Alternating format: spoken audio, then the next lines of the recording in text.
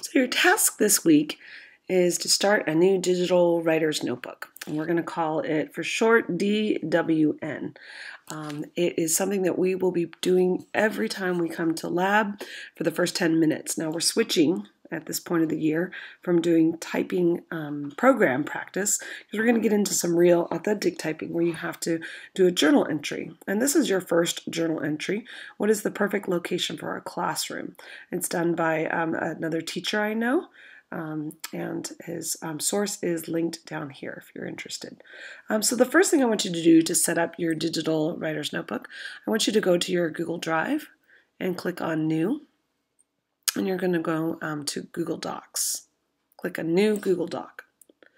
And from here, you need to make sure you click on where it says Untitled Document, and we want to make sure we change that title. It's important you change it and name it um, correctly because um, that way we can find it when we want to um, see if your how your writing's going and how your typing's going. So you're going to name it uh, first with your um, first name, and you're going to call this Digital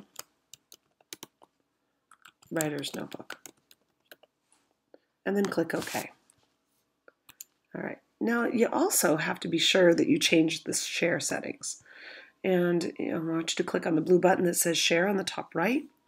And you can click get shareable link and that unlocks it and it makes it so that anyone with the link can view.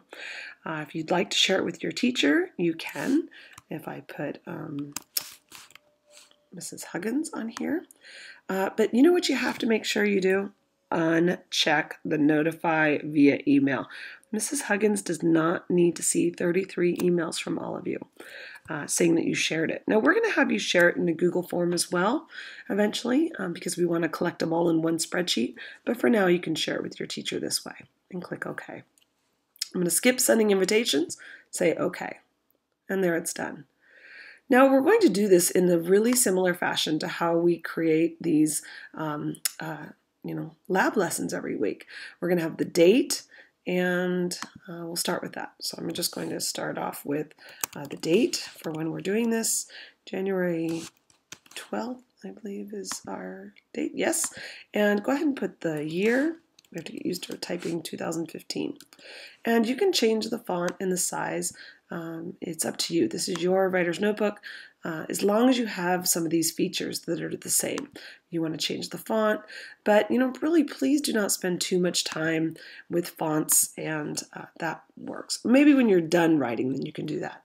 Now, one other thing that I think would be nice each time you do your entry is if I post an image here for your entry, uh, you can, I'm going to click on this, but you can right click on the image and you can um, copy this image just by clicking control and click or a, with a mouse right clicking.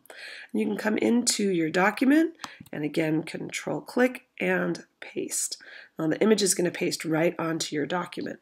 It's kind of nice to have your prompt right there so when you go back and read your uh, digital writer's notebook you can see what you were writing about. Now if this is too big you want it smaller click on the image and you can resize it. Uh, and then once you've got that going for you uh, you can begin writing. And you are going to write this week about what is the perfect location for a classroom. And just begin typing as much as you want in this location. Uh, now, next week, when you go to write again, you're going to go and uh, click return after the um, January so you can get your cursor at the top of the page. And this is really important that you um, pay attention to this part because I want you to go to um, uh, view Oh, look, I always have to look for this. Uh, we're going to do a page break. So you're going to go to Insert. When your cursor is at the very top of the page um, up here, you're going to go to Insert Page Break. And what that does is it moves uh, your work down to the next page, and then I would come up to the top, and um, the next time you write, uh, let's say you do it right away, maybe you're going to write later this week or in um, the following week, whatever day you decide to write, you're going to put the next date, and either you can just write on your own, um, or you could put the next week's image if there's an image that we'll be writing to. I'll probably post um, one of Mr. Spencer's images every week in this location and say that it's Digital Writer's Notebook time. um, that is how you are going to be completing your Digital Writer's Notebook and can't wait to see the progress you make.